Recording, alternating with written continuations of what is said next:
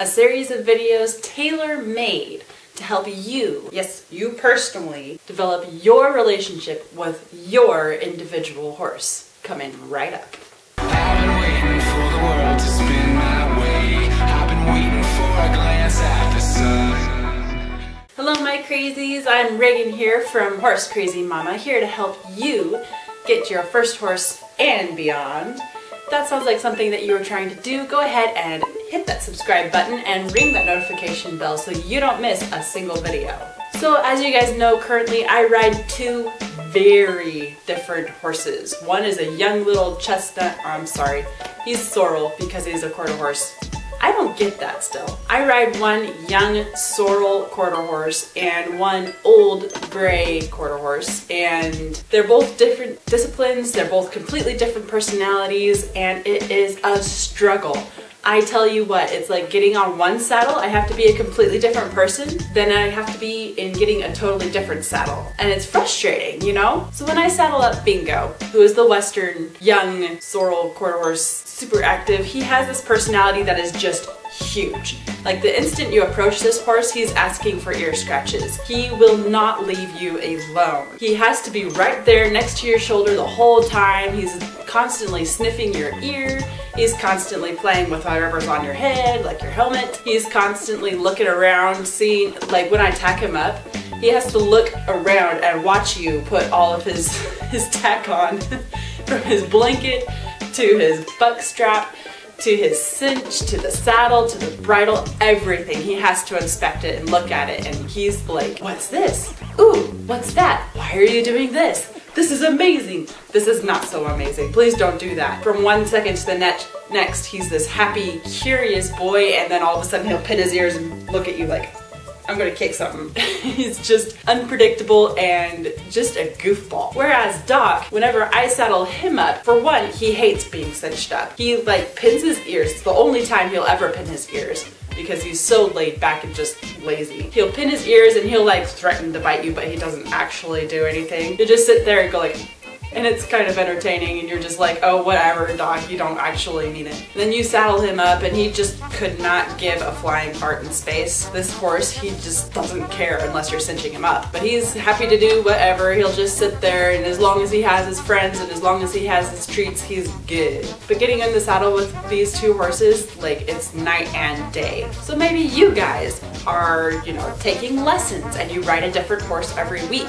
Or maybe you're out to purchase a new horse and again, you're riding a different horse every week. Or maybe you have multiple horses and you just can't figure out why one method with one horse doesn't work with another horse. But it be can be a real pain in the butt, literally, if you don't know who your horse is and how to, to act around them. But this is to help you guys whether your horse is super unpredictable. Some horses, they're just like, you don't know what they're going to do next. You'll get on that saddle and you'll just feel like really trepidatious because you have no idea whether they're going to be really good that day or just fly off the handle and do crazy things. Or maybe you have a horse and you guys just feel like you're not clicky. You had that special feeling when you first got on their back when you were trying them out at their owner's place and you were just like so excited and just everything seemed to mesh together and just it was so amazing. And then when you actually purchase them and you start working with them it's like the honeymoon phase kind of fades out and you're like oh my gosh what did I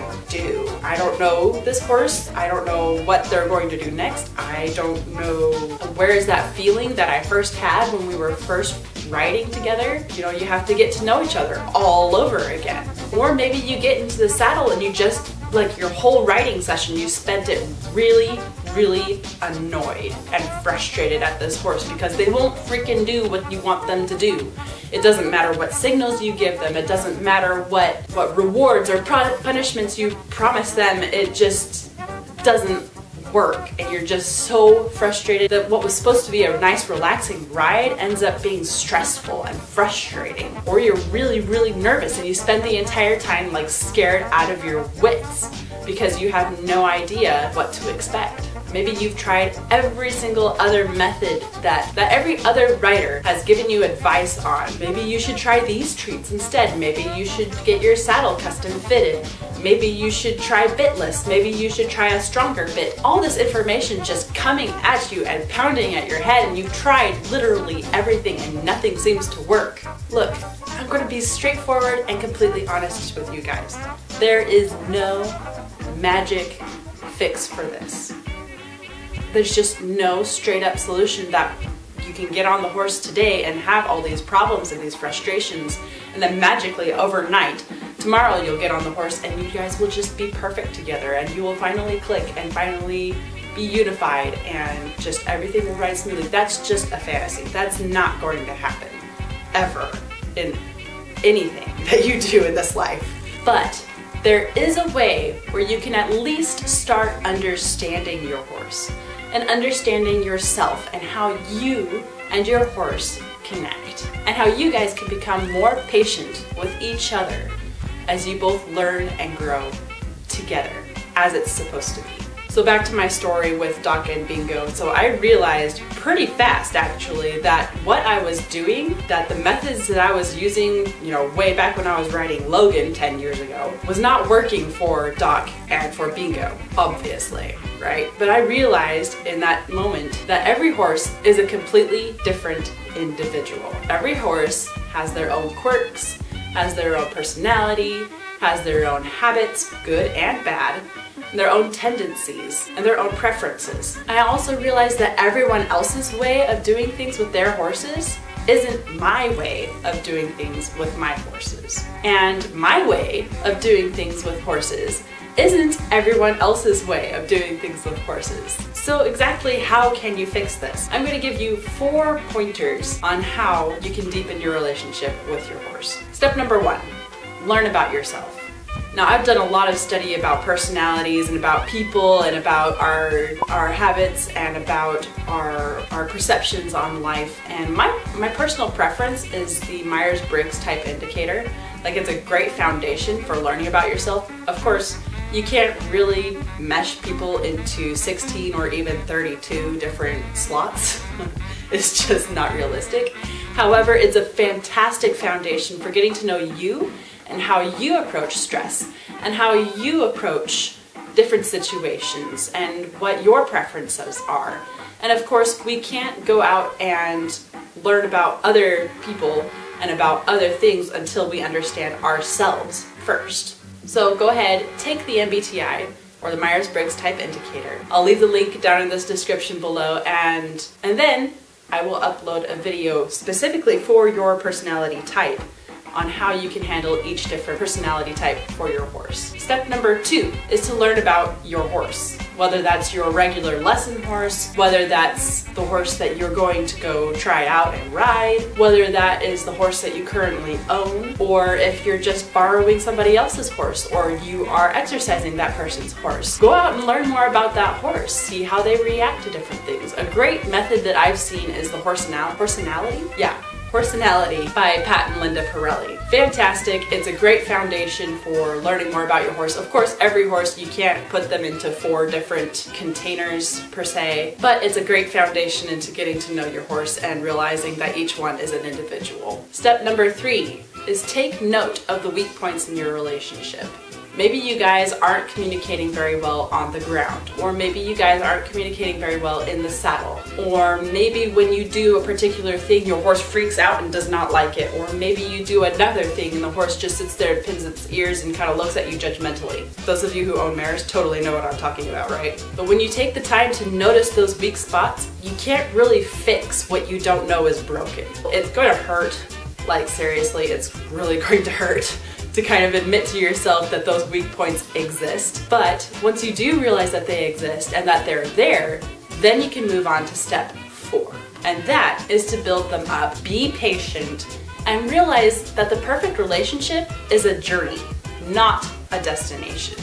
Look, you're not going to just wake up one morning, get in the saddle, and you, you and your horse will just be perfectly one. And you guys just float around on your show jumping course or your reining course or whatever the heck you do with your horse. it just rhymed. You're not going to wake up one day and realize everything is perfect.